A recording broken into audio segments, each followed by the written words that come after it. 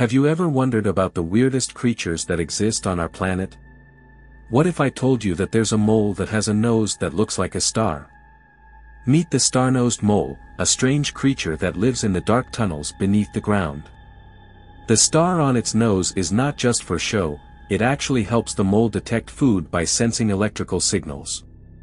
The mole's nose has over 25,000 sensory receptors, making it one of the most sensitive animal noses in the world. Despite being a mole, the star-nosed mole is actually a good swimmer and can hold its breath for up to 10 seconds. Incredibly, the star-nosed mole can detect and consume its prey in under a quarter of a second. Which begs the question, what else is lurking in the dark recesses of our planet? Let us know in the comments which creature you'd like us to feature next, and don't forget to subscribe for more weird and wonderful creatures.